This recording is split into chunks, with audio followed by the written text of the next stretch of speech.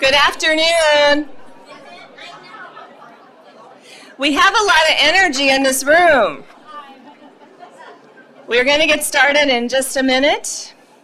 Ah, I have everyone's attention. Yay.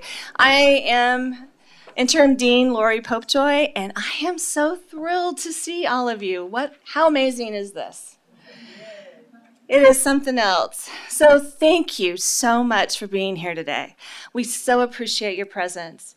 And I want to set, give a special thank you to Curator Chapman, President Choi, Dr. Richard Barohn, Dr. Nim Chin Nama, I'm sorry, I think I'm, Dr. Judith Fitzgerald Miller, and Dr. Roxanne McDaniel. We are.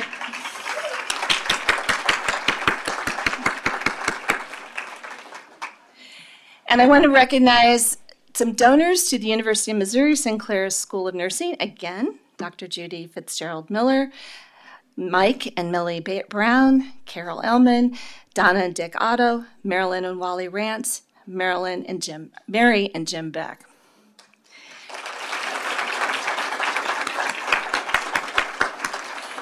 Thank you so much for your generous contributions to this amazing building. Anna Campan Romero is here as well, and I think many of you knew her. She probably worked with you quite a bit, and she was with Sinclair School of Nursing for several years. And we would not be standing here today without our generous donors, and we so appreciate you.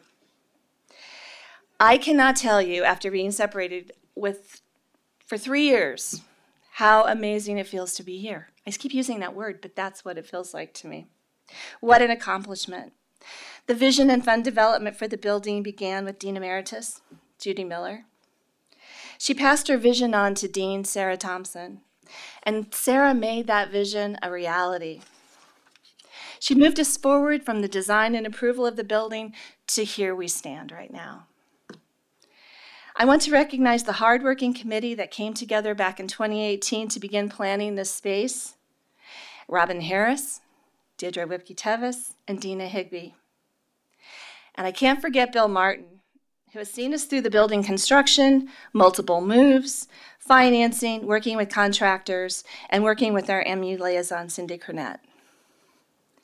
And I cannot thank our faculty, staff, and students enough for working with us throughout the three years of homelessness, who helped us in any way that was needed.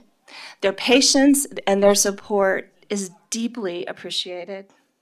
And it is now my honor to welcome curator Darryl Chapman.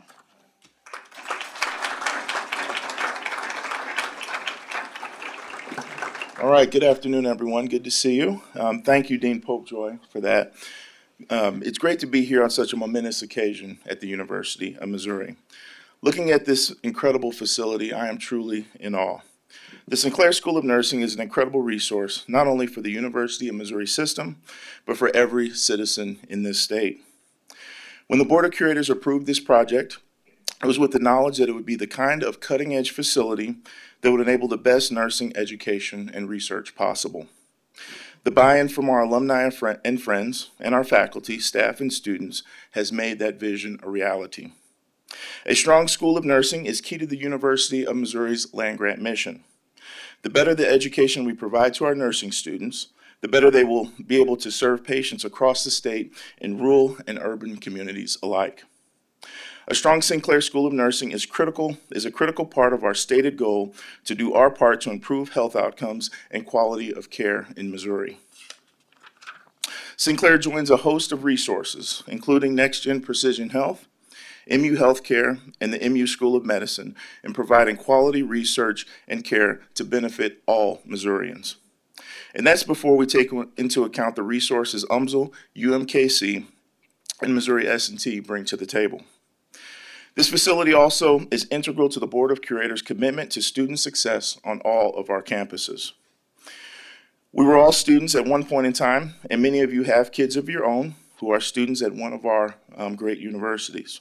It is so important that we do all that we can to support them while they are seeking their degrees. They have trusted us to give them a top-notch education. This facility is just one of many improvements we're making across the UM system to give our students the best chance to succeed. I am proud to represent the Board of Curators today in congratulating the University of Missouri on this great milestone. It is now my privilege to welcome University of Missouri President Mun Choi to the platform.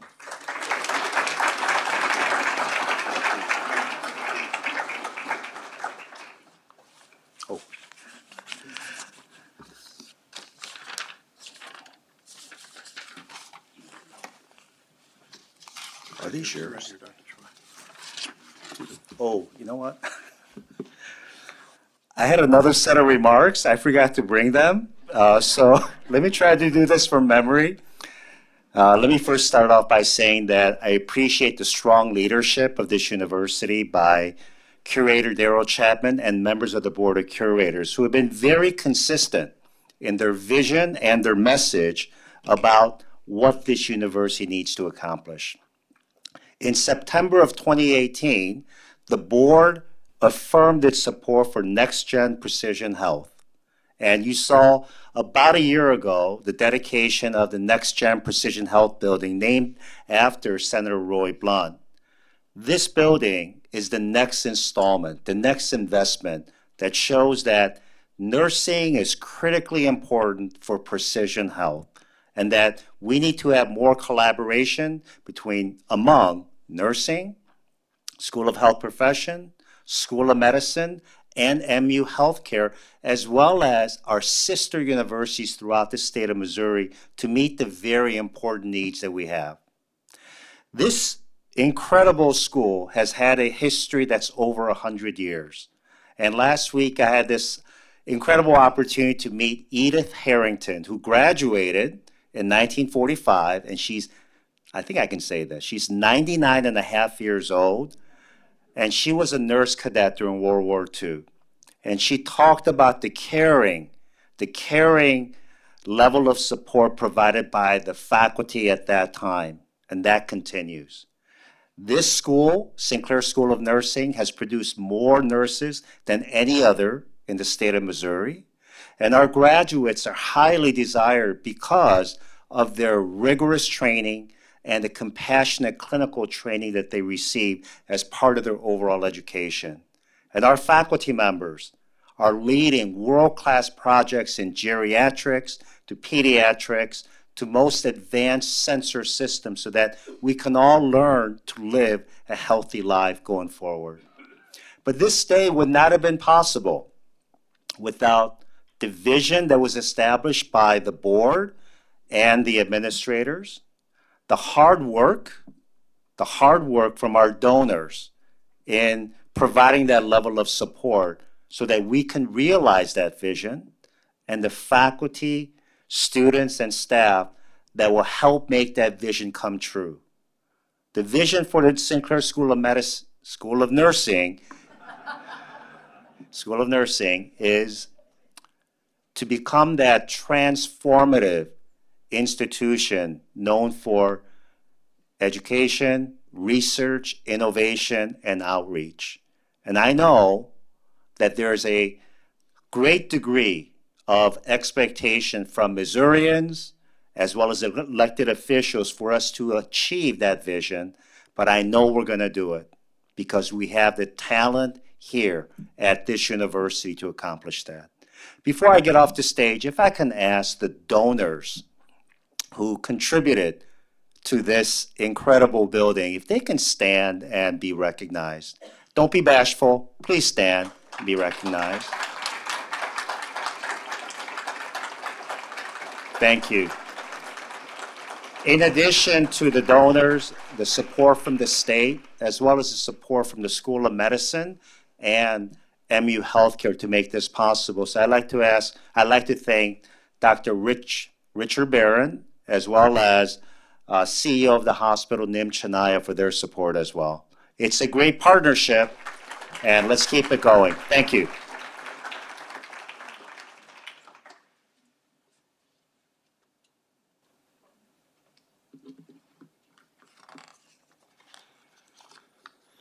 So I would like to introduce Dr. Susan Gilly.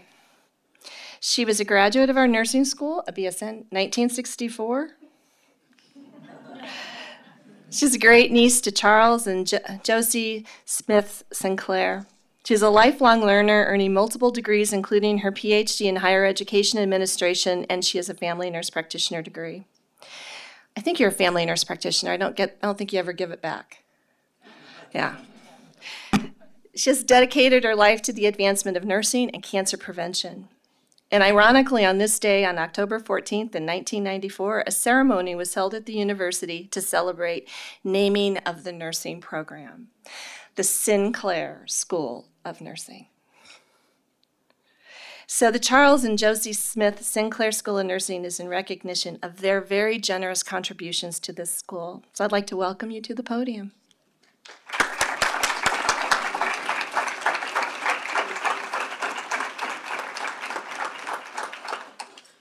I am pleased to be here with my cousins. Um, in, here in the front row, we have Debbie Hatfield and Diana Krasno, and we are, our grandmother was, oh, sorry, our grandmother was um, a sister to Charles Sinclair. So we're all, we go back a little ways. And so really, we're very pleased uh, to be here and, and so pleased that our, our family could have contributed to this, this, the, you know, Sinclair endowment. And um, so that, um, briefly, I guess I wanted to say just something about Charles Sinclair. Though he died in 1959, his, his specialty was the purchase, raising, and sale of livestock, of which he was one of the largest in mid Missouri. And he, of course, he had a large number of acres that were south of uh, Columbia. He had several uh, accidents in his life that meant that in his later years, he had a nurse that took care of him full time. So that when he decided what to do with his estate, he said it should go to a home for nurses because, but he knew it should go to nursing. He knew it, okay? And so, wait, though he died um, in 1959 at 84, the prop, um, they, it, it kind of, I, there were a lot of discussions about it, of what should do with this, but it really didn't get solved. And so my, I think the nursing was discussing this, but my father, Joseph Kaysen, was felt, felt like his uncle's will had not been carried out. It was it, the farm was still there, and so something needed to be done. And he, of course, he knew that his daughter had graduated from that school of nursing. So, any rate, um, he knew a lawyer here in Columbia, and the lawyer then started talking with the dean of school of nursing, and then the whole ball got rolling, and they got a court to change it from a home for nurses to the school of nursing. So any rate, and as, as the, the dean so aptly said, you know, it's, it's very unique that it is the same day, October 14th, 1994, when the initial dedication. And so here we are in, in a whole new building with wonderful capacity. And so, any rate, the thing that I would like to add though is from 1995, more than 550 scholarships have been given from the Sinclair, Sinclair Endowed Scholarship Funds. So I think, I feel very pleased that that could be done. Thank you.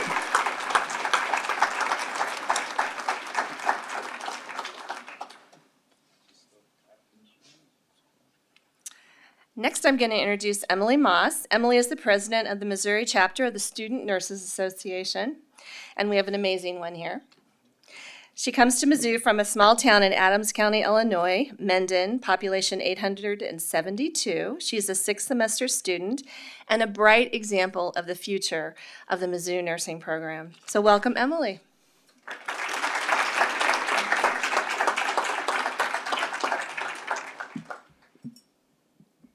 Good afternoon. My name is Emily Moss, and I'm the president of the Student Nurses Association and a junior nursing student here at the University of Missouri. I would first like to thank you for being here today, as well as thank those that gave me the opportunity to speak with you. I joined SNA my first semester freshman year here at Mizzou and never could have predicted how positive of a benefit it would have had on me. As I'm sure all of you recall, we were still in lockdown during the fall of 2020, and my classes, as well as many others, were online. The Student Nurses Association gave me safe access to a community through virtual monthly meetings and remote service opportunities. As a freshman in college, two hours from home, this group was instrumental in my success. This organization has given me an abundance of opportunities to improve myself, receive mentorship, network, and improve my understanding of the field of nursing as well as gain confidence. I'm frankly not quite sure what Donna Otto saw in me, but I'm incredibly thankful for the chance that she took and the trust she has placed in me. Because of her and SNA, I was given the tools to feel prepared not only when applying for the nursing program, but throughout my entire academic experience here at Sinclair. As many of you know, nursing school is no joke. It is without a doubt one of the most challenging yet rewarding things I have ever had the honor of being a part of. Thankfully, me, for me and many others, I get to study and grow within a program that prioritizes me and my development as a future nurse. Your success is truly the core of Sinclair, which is evident through the resources provided, truly remarkable professors who adamantly work to enhance our education, staff that goes above and beyond to acquire opportunities for us, and all of you here today to support the pro- program and students that benefit from it. The dedication to our education is evident in all aspects of learning as a Sinclair nursing student. It can be viewed in the classroom, at clinical rotations, during office hours, and as clear as day in our statistics. I feel privileged that I get to utilize and appreciate this new building as a student and benefit from the tools it provides both in the classroom and simulation center. Through the knowledge and skills I have gained through SNA and the Sinclair School of Nursing, I know that I will be prepared for any challenges that come my way when I proudly walk across that stage next January. I realize I've said thankful many times throughout my speech, but is unable to do justice when expressing how I feel about this program. I want to thank all of you again for being here and for your support of future nurses like myself. It truly means the world to have each and every one of you in our corner as we pursue our passion in this remarkable field. Thank you.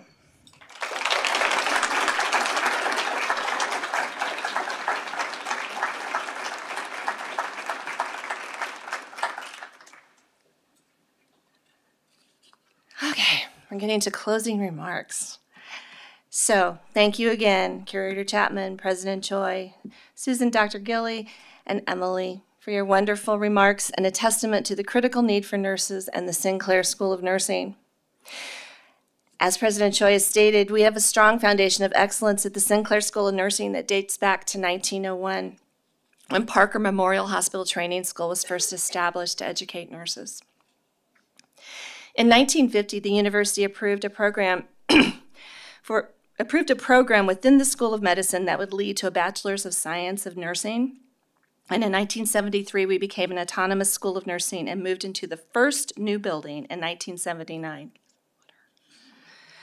That building was demolished. and in 2019, to construct the amazing space you are standing in today. Our new home brings with it advanced technology to educate our students and to keep our competitive edge in the industry.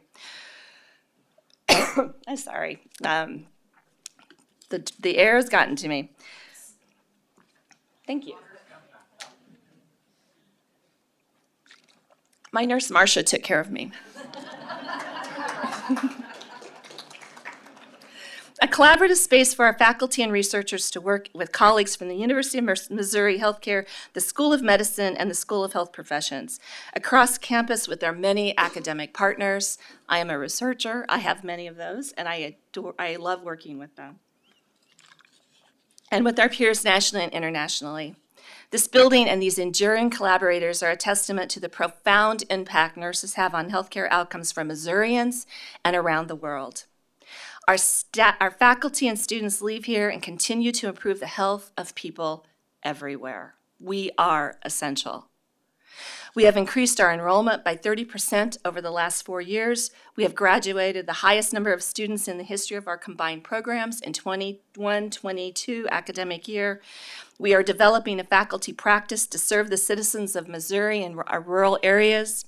We are in a position to move forward and continue to grow, educate, and innovate, standing on the shoulders of the giants who have come before us. And now we go to work in this amazing space, educating the next generation of educators, leaders, researchers, and innovators, the next Mizzou nurse.